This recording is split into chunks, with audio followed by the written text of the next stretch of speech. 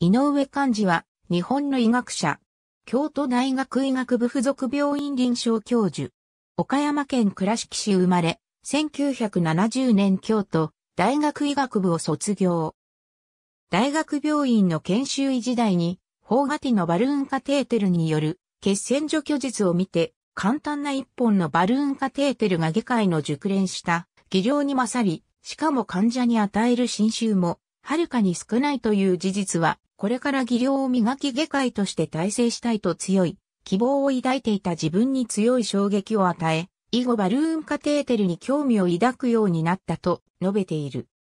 また井上が胸部外科での研修を始めた1973年当時は、海峡による非直視化僧帽弁高連裂解術が盛んに行われていたが、バルーンカテーテルを用いれば同等の成果が得られるのではないかと考え、1975年より、井上バルーンの開発に着手した。井上は、僧帽弁狭窄症に対して、井上バルーンを用いた、経費行状脈的僧帽弁高連裂解術を全世界に普及させた。現在は、大動脈弁狭窄症に対する旅治療、僧帽弁閉鎖不全症に対するマイトラクリップ、など多くの構造心疾患に対するカテーテル治療が普及したが、構造心疾患に対するカテーテル治療の道を切り開いたのは井上である。現在は京都市に PTMC 研究所を設立し、ステントグラフト、フィルター保護デバイスなどの開発の傍ら国内外の更新の指導に当たっている。特にステントグラフト治療はその黎明期から開発を行っており、分子型のステントグラフトの臨床応用に世界で初めて成功した。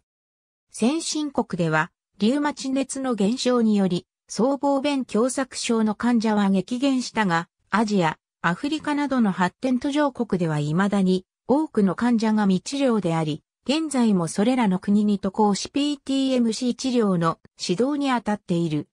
2018年11月バングラディシュ国立循環器病センターでの PTMC 指導、井上バルーンの開発は大学などの研究施設ではなく、民間病院である高知市立市民病院において行われた。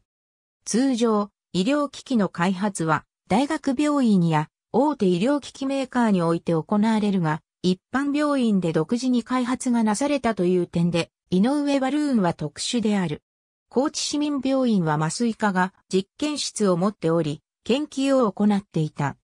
井上は麻酔科にお願いして、週1回実験室を借り、勤務時間外の午後6時以降から朝の2から3時まで単独で実験を行いその結果、井上バルーンの開発に成功した。井上バルーンの開発はほぼ独力で行われ、縫製などは井上の妻が行っていた。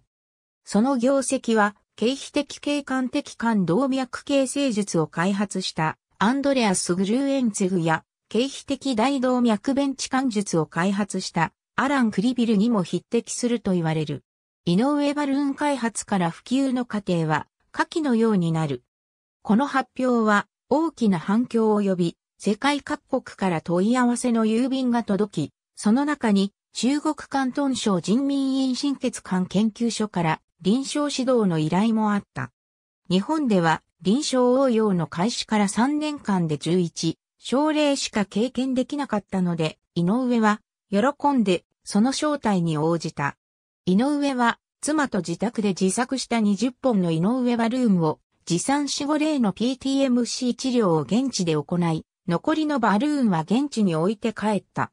現地の医師がそのバルーンを用いて引き続いて治療を行った。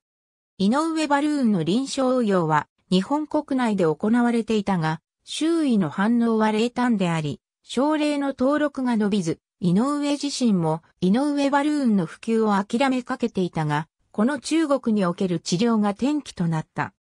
井上バルーンの段階的な拡張1、砂防内に挿入された井上バルーン2、遠位部分のみ拡張された状態3、筋位部も拡張4、狭窄した弁を拡張し高連部切開を行う。井上バルーンは井上が独自に開発したバルーンであり、下記のような特徴を持つ。ガイドワイヤーを先行させることなく、スタイレットにより操作を行い砂防から砂質へ挿入することが可能である砂時計型の構造を持ちスリップを予防し確実な拡張を可能とする3層構造を持ち耐圧性を高めているストレッチチューブによりバルーンを進展させることにより再形化することが可能であるこれらの特徴は井上バルーンに独特でありその後開発された各種バルーンカテーテルにその特徴は継承されておらず、井上バルーンの設計上の独自性が際立っている。現在では、日本循環器学会、欧州心臓病学会、米国心臓病学会いずれのガイドラインでも、症候性僧帽弁狭窄症に対する第一選択の治療法は PTMC であり、最も多く使用されているバルーンは井上バルーンである。ありがとうございます。